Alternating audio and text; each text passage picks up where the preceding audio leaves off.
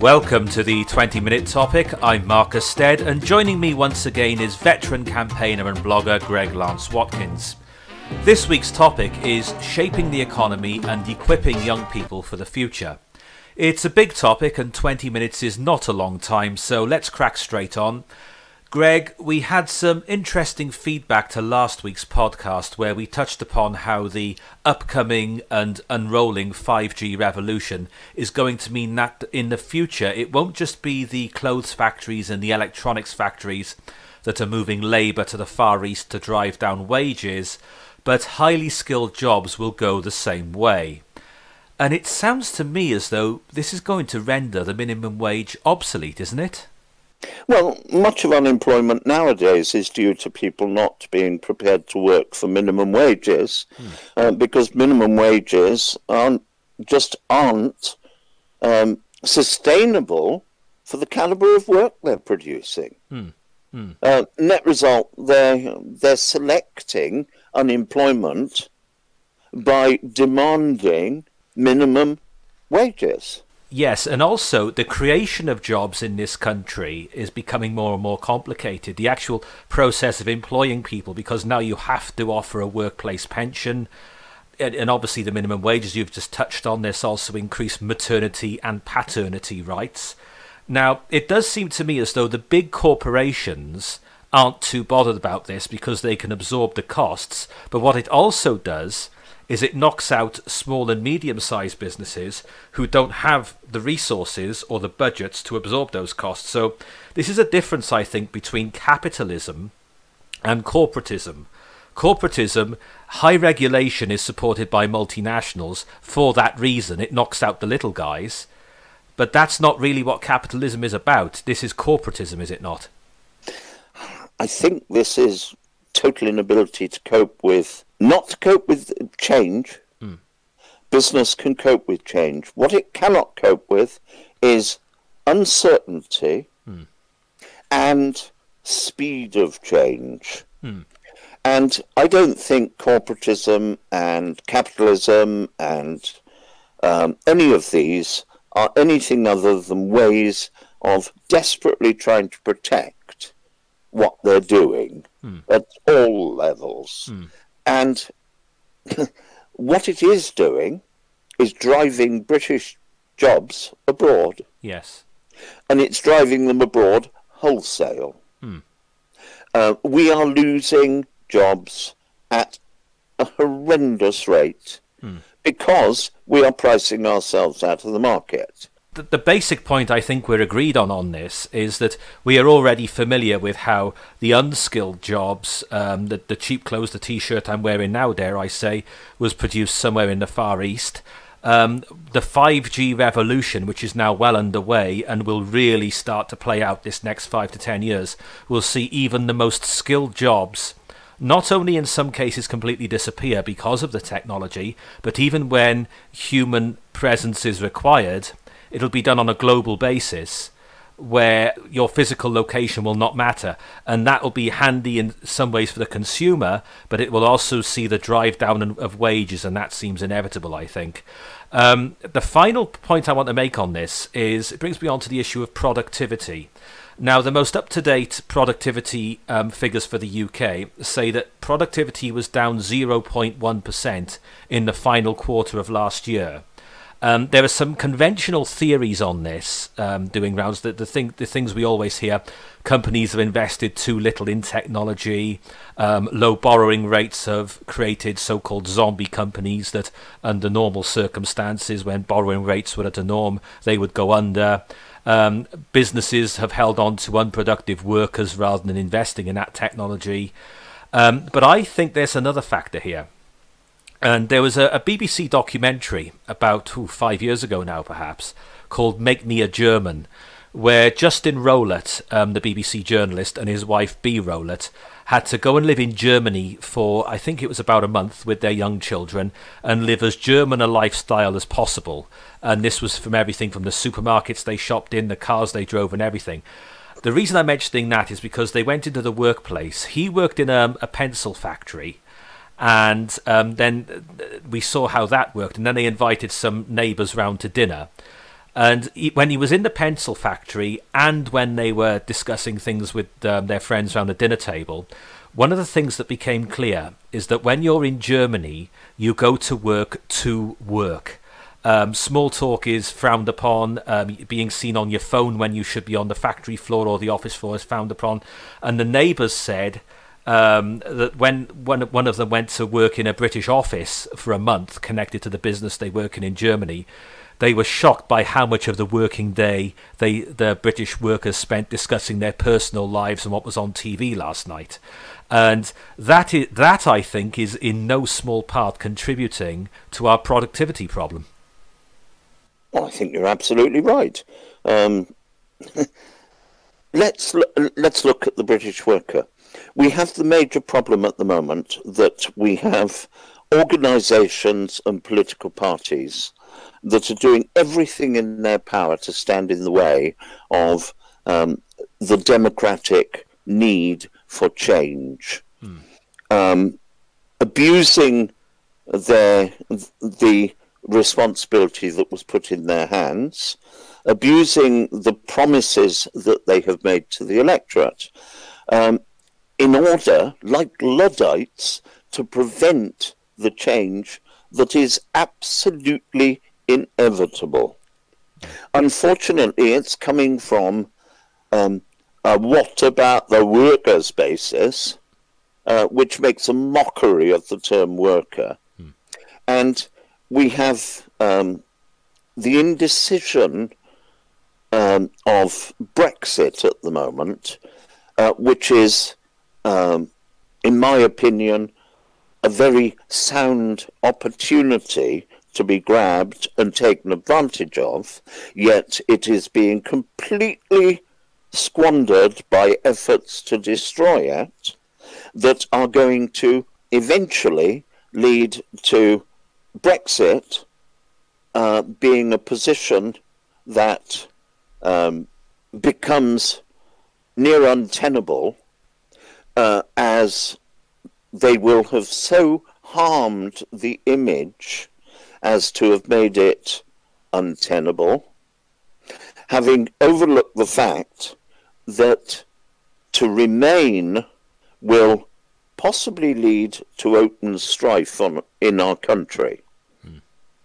And this is just standing in the way of change.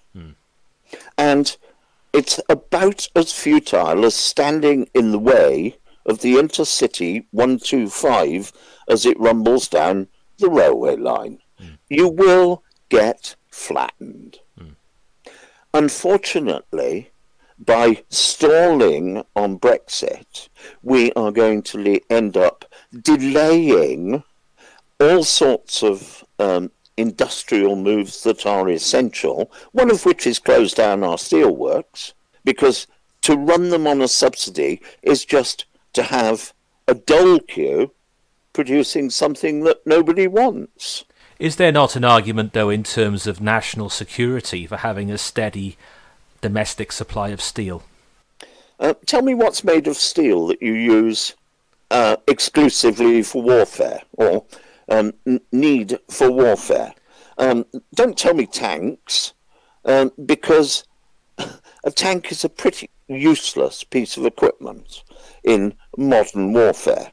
Don't tell me aircraft carriers, because that really is useless since we've invented, um, the entire Navy is useless since we invented the heat homing missile. A friend of mine who's a lot older than me, who's not far off your age, um, was a, as a defence correspondent in the early 1980s, and he was told by somebody very senior in the British military, round about the time of the Falkland War, that this would be the last time aircraft carriers would be used, and they were about 10, 20 years away from them becoming obsolete. Oh, I think he was right. Mm. It was 30 years ago to the Falkland War, wasn't it? Um, mm. um, I think they're totally obsolete, um, despite the fact that we've two, built two superb museum pieces. Mm. they're such museum pieces that they are floating around um, running into the odd thing and offering um, free taxi rides for uh, the captains, mm. um, and um, unarmed um, because we haven't got any aeroplanes to land on them. Mm. I think we should end this podcast by trying to give some good advice, not just to the very young, but also people about my age who are going to be in the workplace for the next 30 years. Today's young people now, going to university to study what exactly and what will be the reward at the end of it? Because I know people, I came out of university 14 years ago, almost to the day actually, and um, I know a number of people of my age who are not just on my course but studied other things who have since had to completely retrain because what they learned less than 15 years ago is already obsolete. We're going to see not just the steel worker, the coal miner, and so on and so forth, the, the old industrial place disappear completely in terms of manpower, but we're going to see the professions go the same way for reasons we've already touched on with regards to 5G technology, how that's going to influence medicine. We're already seeing the legal profession not being as lucrative as it used to be. What advice can we give young people as to what they should do with their lives and how they should plan their futures if they're in their teens, their 20s, or even their 30s? I think the most important thing is remain light footed so that you can make changes rapidly. Mm. Um, yes, there will always be a call for um, people uh, who are specialists in their field.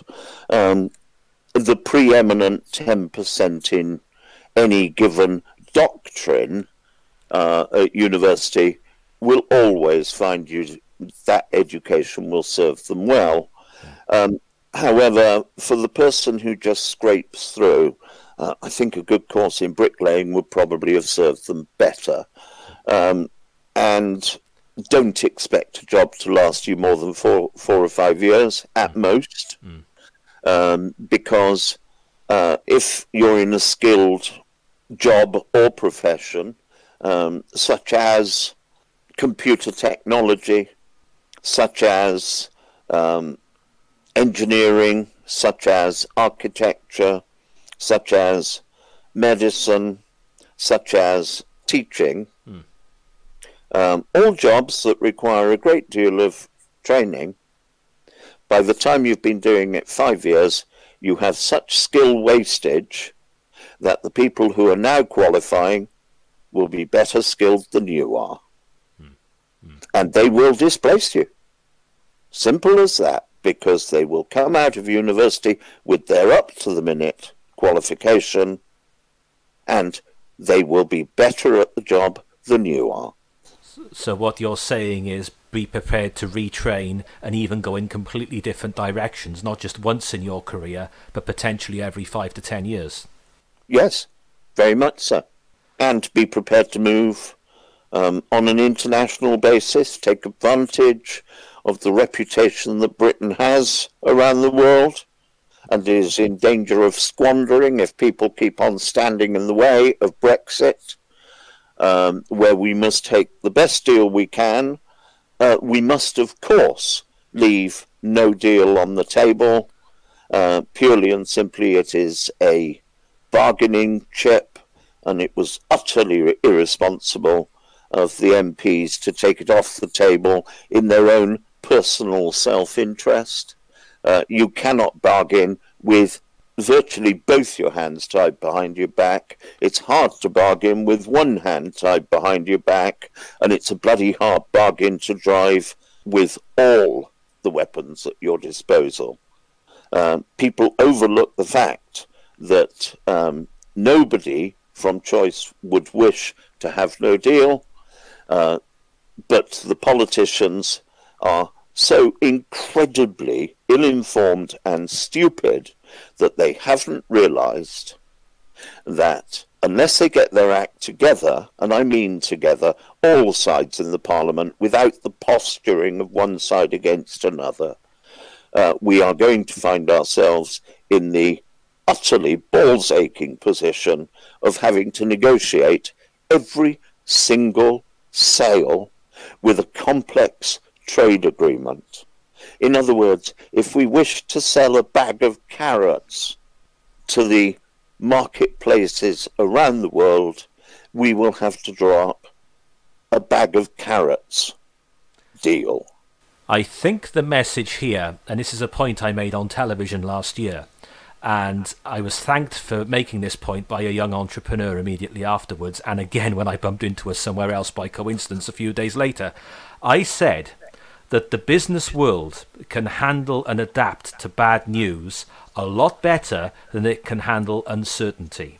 And what we've had is three years now of dithering and uncertainty, and it is that that is damaging British business and British entrepreneurship and the economy as a whole far more than a bad Brexit deal would. Far, far more. Two things are crippling the British economy, particularly the utter incompetence of our devious and dishonest politicians of all parties and persuasions mm. who are, would seem to be only interested in themselves. Mm.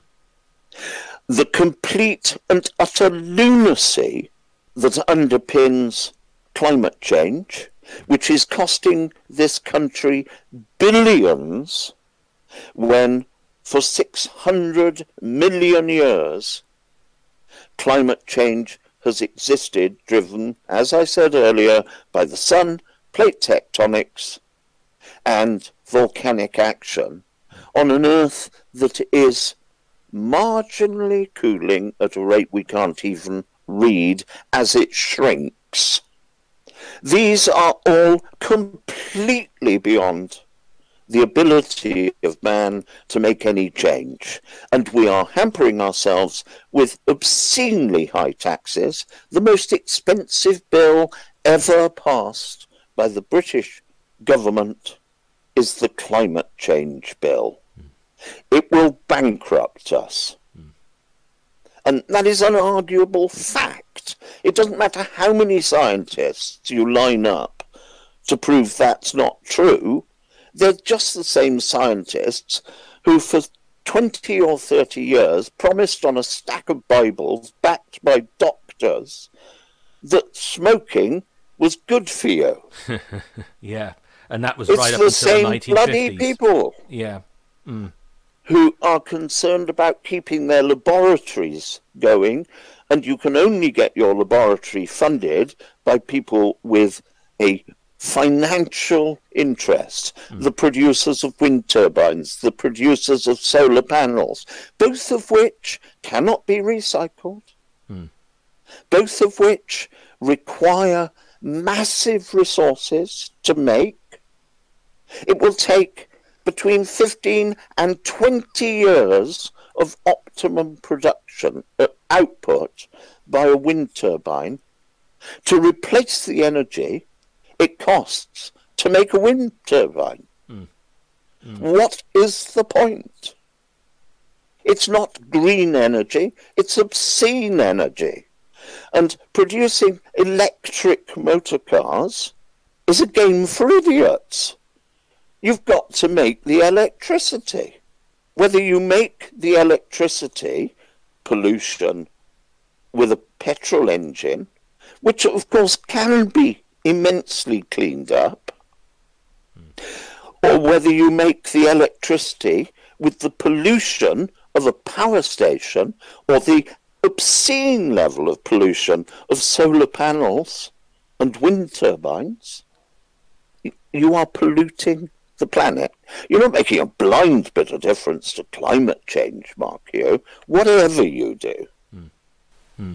And I, I, I, agree with what you're saying on that because I've read Christopher Booker's work on the subject, and um, his book, The Real Global Warming Disaster, goes into the, the myth of the man made climate change theory in a huge amount of depth.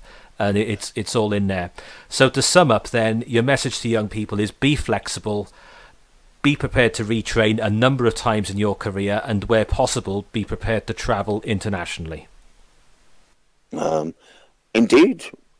In fact, be prepared to travel, whether it's internationally hmm. or um, within your, this country, or coming not very far away we will be travelling beyond this planet. Plenty to think about there. My thanks to Greg as always. Join us next week when we've got a very different but equally intriguing topic up for discussion. Thanks for listening. See you next week.